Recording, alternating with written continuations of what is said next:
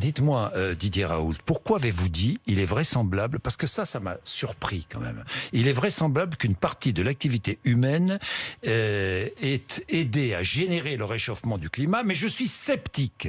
Et le futur est imprévisible. Vous êtes sceptique Bien sûr, je suis même sidéré, mais je suis sidéré que ce soit devenu une insulte d'être sceptique. Enfin, c'est la non, non, vit non, dans mais un je- monde de fous. Mais je, je- on dit pas, je vous demande, vous êtes sceptique, pourquoi êtes-vous Mais, sceptique? Bah, mais sinon, je ne serais pas un scientifique. Enfin, Sur la climatologie, vous êtes sceptique. Vous pensez que l'activité humaine... Non, non, je, je pense. Alors, allez-y, précisez votre pensée parce que c'est Écoutez, qu'il y ait des, alors, les gens deviennent plus raisonnables, qu'il y ait Oui. des changements climatiques, euh, c'est vrai qu'il y a des changements climatiques. Qu'il y ait, que, que nous devions euh, faire attention à pas détruire l'endroit dans lequel nous vivons, c'est une évidence. Euh, et donc, en, en plus, moi je suis écologiste par nature, puisque toutes les maladies infectieuses ne sont que des maladies d'écosystème en soi. D'accord?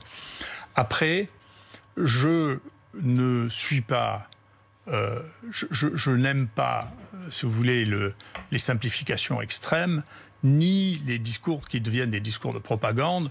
Et en particulier, j'étais particulièrement irrité par Al Gore, qui a fait fortune en se déplaçant dans les quatre coins du monde pour raconter qu'il y aurait plus de banquise et qu'il y aurait plus d'ours blancs. Et il faut regarder les déclarations d'Al Gore et ce qu'il a fait, euh, et ce qu'il nous a prédit pour 2012 et ce qui s'est passé. Donc, je n'aime pas les faux prophètes. Je n'aime pas les gens qui donnent des caricatures de l'histoire, et ça n'empêche pas les gens d'être raisonnables. Mais il y a des moments où être raisonnable, c'est comme au temps de l'Inquisition, le fait d'être raisonnable devient, devient euh, euh, justifie le bûcher.